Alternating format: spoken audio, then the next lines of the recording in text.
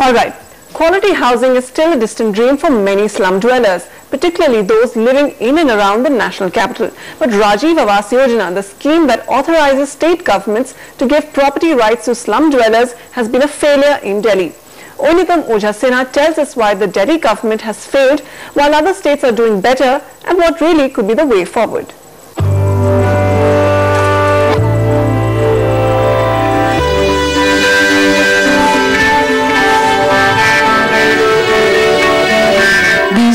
Are still waiting for a permanent roof over their heads. While they continue to live in cramped, unhealthy conditions, about 14,000 flats are lying vacant in slum areas of Delhi for the past five years. Reason? The government has been unable to identify the eligible beneficiaries under the Rajiv Awas Yojana scheme that promises property rights to slum dwellers and basic civic and social services.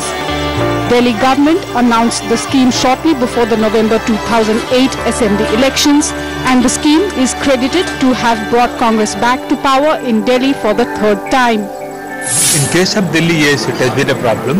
Uh, not really BPL, but identification of uh, the eligible people who can be allotted this house. So they are still struggling with that. These schemes were sanctioned about six years ago. At that particular point of time, they already had some information.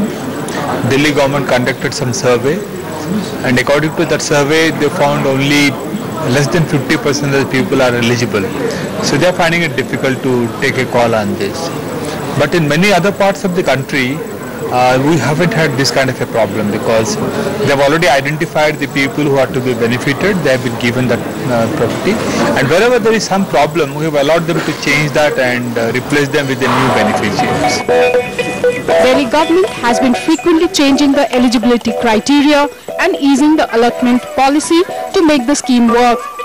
Initially, the eligibility criteria said only those slum dwellers with a ration card pre-1998 will get a flat. This failed because most slum dwellers either did not possess a ration card or had acquired it only after 1998. At one point of time, the rule said a person living in a slum area will be offered the low-cost flats. The only difference is that those who are eligible will have to pay a very small percentage of actual cost of the house, while the ineligible people will have to shell out more. Then the government decided to allocate flats not just on basis of ration cards, but also by names on the voters list. If you went around right now and looked in the states whether Madhya Pradesh and Delhi, you'll find some action. And you could be displeased with someone saying, hey, it doesn't meet the requirements, but that's the point. We are doing something which has not been done very well before or not been done at all before. And so as people are learning to do something, they'll stumble a little bit. And that's okay because we've got a good process of learning established, of evaluation and putting learning back into the system. That process has been established. So this is the difference, I think, between this Rajiv Awas Yojana and most other schemes of the government, which are very much top-down, rule-based, money-given. Delhi government's performance under Rajiv Awas Yojana has been dismal. According to official sources, at a time when other states' construction of flats was around 45%, Delhi was doing less than 10%. It is in the last 18 to 24 months that Delhi has been constructing flats at about 30%. Under Rajiv Awas Yojana, the dweller is entitled to only one residential flat. A flat will initially be allotted for 15 years which may be extended. Average size of flats will be 25 square meters carpet area.